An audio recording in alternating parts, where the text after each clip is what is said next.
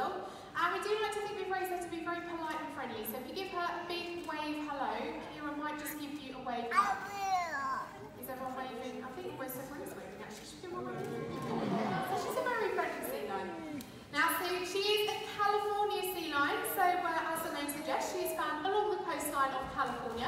But they will go as far north as Canada and Alaska and as far south as Mexico. But they're mainly found along that California coastline.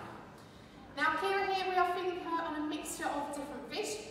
So she gets some sprat, herring, mackerel and capelin. And in the wild, she's mainly going to be eating fish, but she will also eat occasional seabirds and things as well. But unfortunately for Kira, uh, in the wild for sea lions, um, it's not quite as safe in our oceans as it should be. Now there are a few things that are affecting our marine wildlife. Now one big problem is overfishing.